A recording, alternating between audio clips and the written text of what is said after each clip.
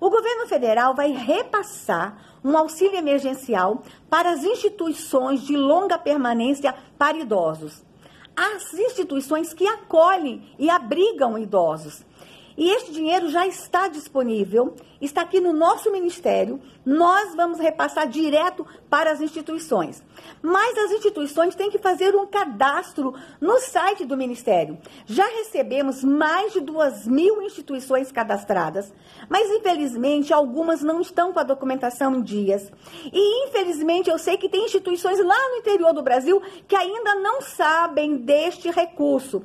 Por favor, compartilhe esse vídeo. Liga aí na tua cidade. Se você conhece alguma instituição na tua cidade que acolhe idosos, liga e pergunte aos dirigentes se eles já se cadastraram aqui no Ministério. Gente, e o prazo do cadastro termina dia 3 de outubro. Só temos mais uma semana. Bora, compartilhe. Nós já publicamos na imprensa, já saiu no Diário Oficial, já falamos com todo mundo, mas a gente acha que ainda tem instituição que não sabe que tem direito a este recurso. Compartilha urgente este vídeo.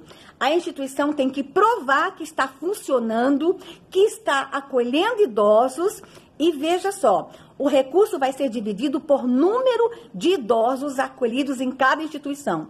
Bora, gente! Todo mundo cuidando dos idosos. Compartilhe agora esse vídeo.